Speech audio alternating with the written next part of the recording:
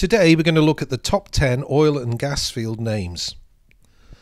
What's in a name? Well, it could be a location, could be a fish, a bird, a god, a planet, or even a relative. How do we name oil and gas fields? Well, we begin our search for the best name with some of the candidates that we're going to present here. We're sure there are some crackers out there that haven't been featured in this top 10, so please add a comment below and come up with some suggestions, and maybe a remake of this will get closer to the best named oil and gas fields. Here's our world map of trove coverage. I'm going to start in the North Sea. And here's the apocryphal tale of Shell's naming convention in the UK North Sea. Well, the story goes that when Shell found their first field, it was called AUK. And the idea was that they go BUK, CUK, but somebody realised by the time they discovered the sixth field, they would have some problems. The reality, well, it wasn't AUK, of course, it was Auk. And here's a picture of an Auk, and underneath a Brent goose, and you can see all of the names of these were actually featuring seabirds. We don't know some of them. If you can help us out and fill in the gaps, please leave them in the comments below. Now we're off to the US Gulf of Mexico. So this is the place to go if you want really interesting names. And uh, you can see here in this list that's flashing by, there are some really interesting names. But the one that we've chosen for this today is actually going to be Nearly Headless Nick. It's in the deep water Gulf of Mexico. It's just southeast of the uh, Delta House hub. And its name, of course, is derived from the Harry Potter film and there is uh, John Cleese in the part of Nearly Headless Nick. Now, um, don't know how they came up with these names, but I think it's a fantastic name. Staying in the Gulf of Mexico, another interesting name comes uh, from Mexico itself, and it's the Cantarell field. And in 2004, it was the second largest producing oil field in the world, producing 2.1 million barrels of oil per day. It's actually named after the fisherman Rudesindo Cantarell, who came across an oil slick back in 1961. So he reported this and received recognition and tributes for his discovery. He became a Pemex employee, and the field was later named in his honour. So there it is, fantastic complex. Now moving across to South Africa, and we touched on this in one of our recent videos on the Outeniqua Basin, and it's to do with the Paddavissie Fairway. Now here's the uh, the acreage down here, and if we home in on it, you can see the Paddavissie Fairway. It actually gets its name from the fact it looked at the original mapping a little bit like a tadpole. And the naming convention for the subsequent prospects, and this was by Ranger Oil back in the day, was uh, to give them names of frogs. So Brulpadda, bullfrog, Luiperd, is leopard toad, and uh, there's the uh, Paddavissie, uh, the tadpole. And here's our entries from Trove, and you can see for each and every one of these, um, we have lots of information available. Back to the North Sea, this time going across to Norway.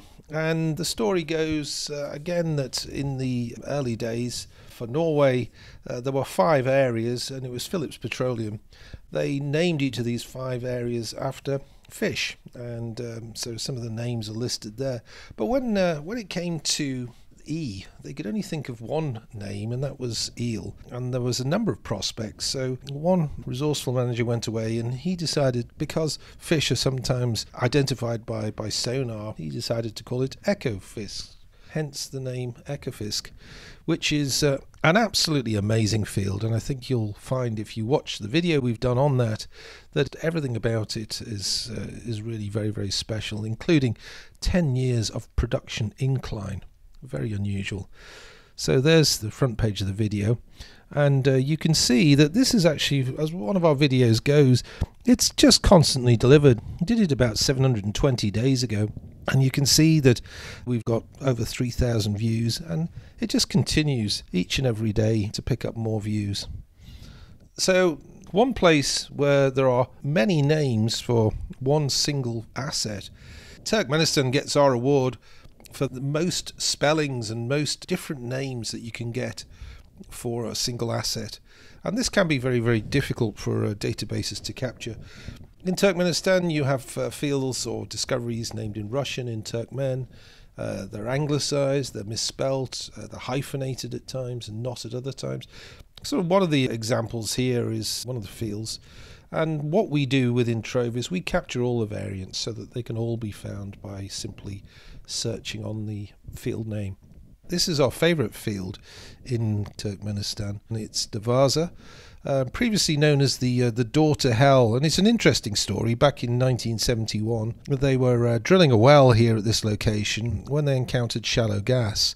Now, in time, the uh, the whole rig um, started to sink as a sinkhole developed, and worried about the escaping gas, uh, they decided to actually ignite this gas, the escaping methane, with the expectation that would burn off in a few weeks.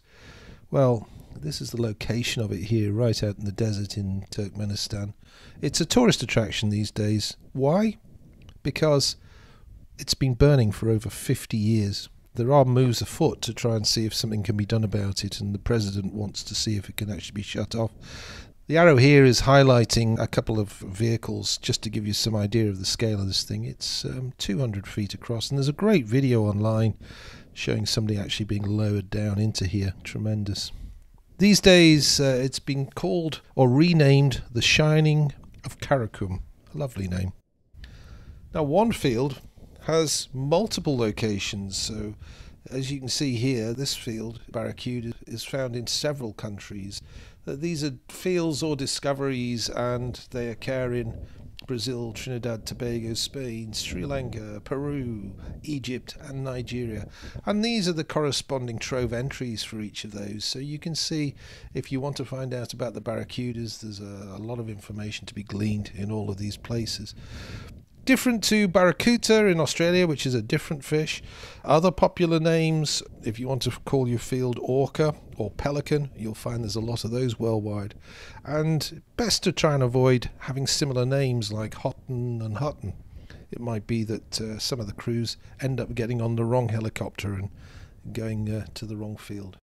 Play it again, Sam. And here we go off to offshore Spain and to the Casablanca field. Well, it's Ranger Oil featuring again, and back in 1971, Ranger applied for five exploration permits offshore Spain. Now, the, most of them were named after Mediterranean seaside cities, and here's some of them, and some of them are actually shown on that map. But the fifth was named Casablanca, and it was a restaurant that the geologists used to visit on their field trips.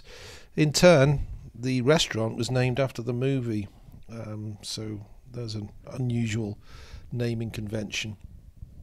Is it a bird? We're back in the UK North Sea, and this time with buzzard. Are these named after birds? Buzzard, golden eagle. Here is the uh, the buzzard complex. At the time of writing, it's the biggest producing field in the UK North Sea. Well, no. In fact, these fields are all named after pubs in southeast England. Bar one, and that is the uh, the Buzzard Bar, which is actually located in downtown Calgary. It was called Buzzard Bar. It's uh, now known as uh, Bottle Screw Bill's Pub, but there is still a, a uh, Buzzard Bar within. So uh, it's not just the Buzzard Bar that's changed names. On this one in particular, there's a number of companies have, have changed uh, changed hats. It's uh, Pan Canadian became Encana, Nexen and CNOOC, and uh, the rumor is that CNOOC might be putting their assets up for sale at this time. In the land down under, so if we nip on over to uh, Australia, well, we kind of like this one, and it's Woollybutt, ENI's Northwest Shelf oil field. So, um, a woolly butt, by the way, is uh, it turns out is a, a tree in uh, native to Australia. So here's our candidates again, rolled out.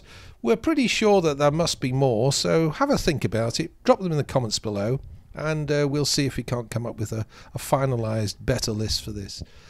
Thanks ever so much for listening, and please subscribe, give us a thumbs up, ring the bell, and if you want to get in touch, there's our details. Thank you very much.